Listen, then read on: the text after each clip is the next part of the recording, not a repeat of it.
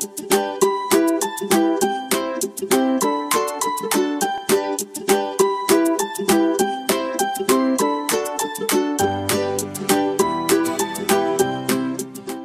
serdecznie, Ania Dudziak, trener drużyny Wiecica z Karszewy Kic. Przyjechaliśmy e, z Pomorza, okolice Gdańska, Starogardu Gdańskiego.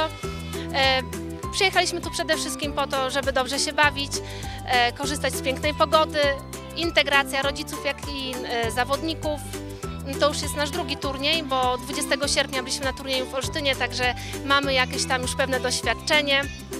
E, pogoda, jak widać, dopisuje, słoneczko grzeje. Wrócimy na pewno opaleni, zadowoleni, z medalami, z pucharami i życzę wszystkim powodzenia. startujemy w ramach projektu PZU Football Plus dla i głównym celem, głównym celem tego projektu jest to, żeby dzieci z różnymi niepełnosprawnościami bawiły się dobrze, mogły y, grać piłkę nożną, to co kochają, ten, ten futbol i, i spełniać się jako, spełniać swoje marzenia. Przyjechało do nas dzisiaj pięć ekip z całej Polski, bo mamy drużyny ze Skarszewa, mamy drużynę z Gdańska, z Gorlic, mamy z Klimontowa i z Radomia, ekstraklasową nawet drużynę, bo to jest Radomia, Radomia Radom.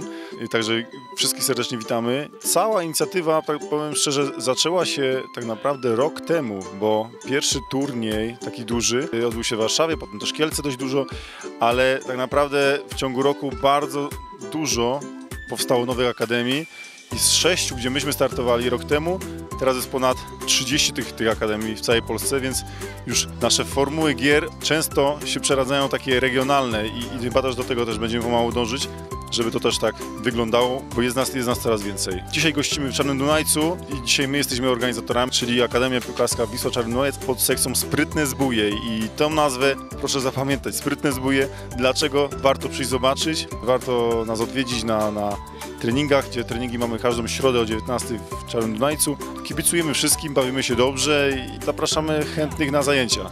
Zajęcia są bezpłatne i warto przyjść, warto zobaczyć, spędzić miło czas przy piłce nożnej, tak?